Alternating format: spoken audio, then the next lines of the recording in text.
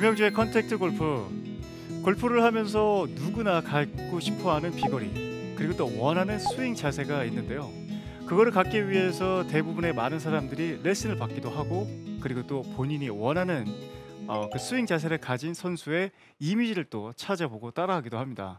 아마추어 골퍼분들이 대다수 원하는 임팩트 이후의 follow 자세에서 양팔을 펴는 비법에 대해서 제가 오늘 설명해 드리도록 하겠습니다.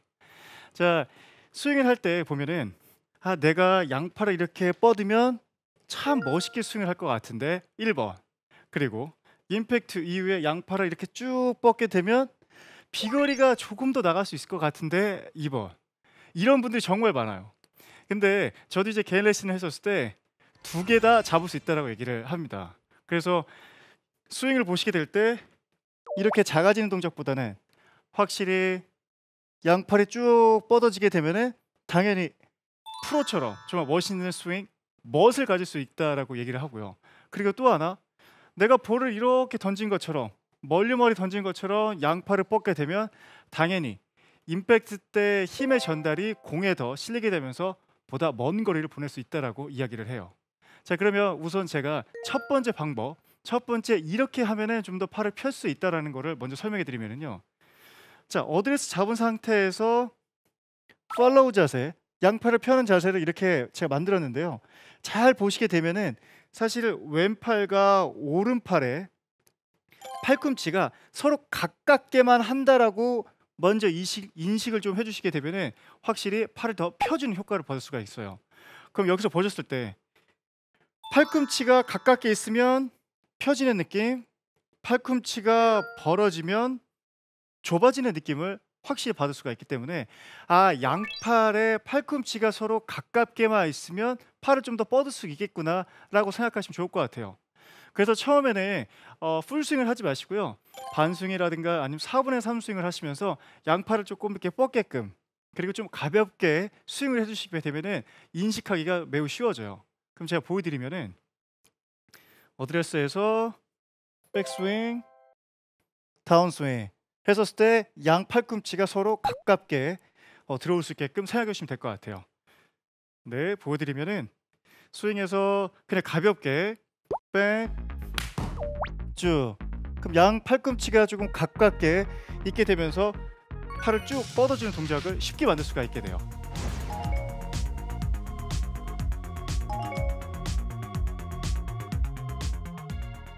자 그럼 여기까지 조금 이해를 바로 하셨을 것 같고요.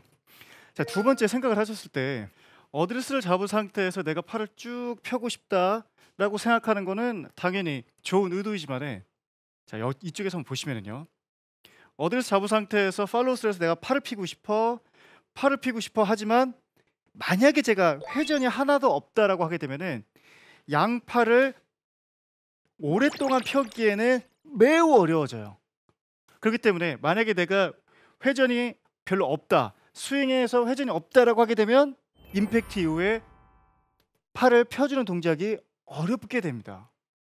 그렇기 때문에 보통 대부분의 스윙을 하시는데 지나치게 임팩트 순간에 왼쪽에 벽을 만드시는 골퍼분들 같은 경우에는 백스윙 하신 다음에 다운스윙 때 오히려 이러한 동작이 더 많이 나와요.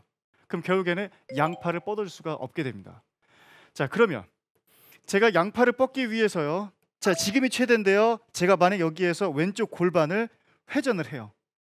열어주는 동작을 하게 되면 양팔은 더 오랫동안 그리고 더 길게 뻗을 수가 있, 있게 됩니다.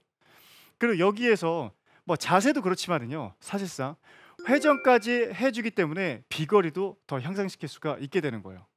그럼 모션으로 보여드리면 자 백스윙을 하고 다운스윙 들어갔을 때 왼쪽에 벽을 만들어주면서 골반 턴을 안 하게 되면 임팩트 때까지는 좀 펴질 수는 있겠지만 임팩트 이후에 바로 팔이 굽혀질 수밖에 없고요.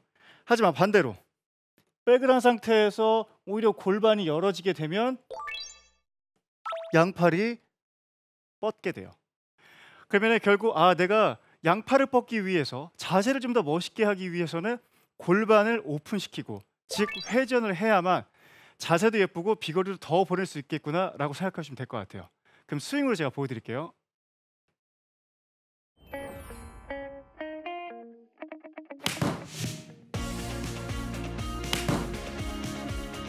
그럼 제가 임팩트 이후에 지금 잠깐 홀드하고 있는데요. 멈춰 있는데 확실하게 지금 보이는 거는 왼쪽 골반이 열어져 있고요. 양쪽 팔꿈치가 간격이 좁으면서 팔을 쭉 뻗어주는 모습을 볼 수가 있었어요. 좀전 같은 경우도 제가 어떻게 보면 툭 쳤지만은 157m, 160m가 나오면서 편안하게 쳤지만 어, 여유롭게 비거리를 보낼 수가 있게 됐습니다.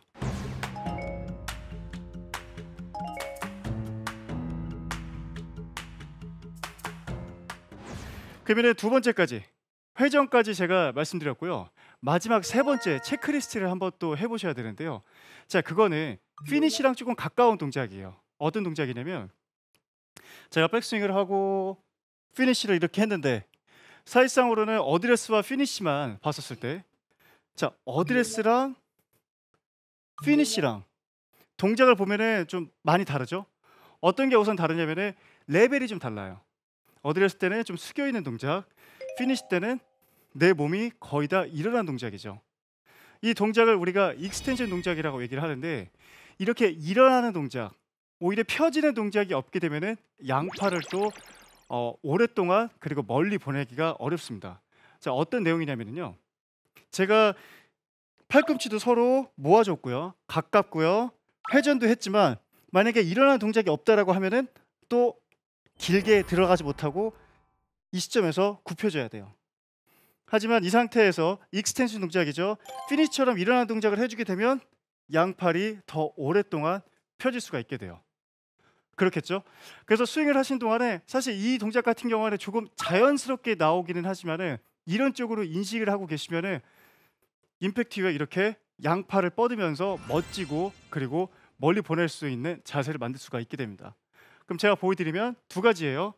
회전도 했고 다 했는데 extension 동작이 없이 이렇게만 들어가면은 결국 피니시도 작아지고 이 이후에는 굽혀질 테지만 이 상태에서 extension 동작이죠. 올라오는 동작을 하게 되면 양팔을 더 길게 동안 뻗을 수가 있게 됩니다. 스윙으로 보여드리면요.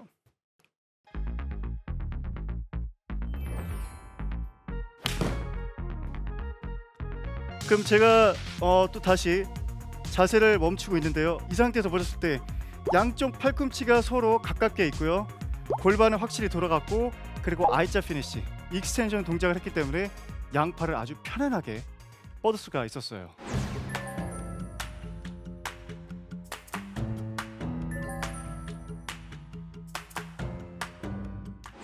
자 오늘은 제가 누구나 그러니까 아마추어 골퍼분들이라면 내가 이 자세는 꼭 하고 싶은 자세 팔로우 스루 자세에서 양팔 펴는 비법에 대해서 말씀드렸는데요. 제가 말씀드린 부분 체크해 보셨다가 정말 누구보다 더 멋있고 그리고 또 누구보다 더 멀리 보내면서 즐거운 골프 하시길 바라겠습니다. 이상적인 자세와 비거리를 위한 팔로우 스루 방법. 우선 팔꿈치를 모아주는 느낌을 갖습니다. 이렇게 하면 스윙 아크도 넓어지는데요. 또 왼쪽 골반을 회전하면 양팔을 뻗을 수 있는 가동 범위도 넓어집니다. 회전량이 자연스럽게 늘면서 비거리 향상에 도움이 됩니다. 그리고 양팔을 좀 더 오래 뻗을 수 있게 피니시 직전 상체를 들어주면 더 효과적입니다.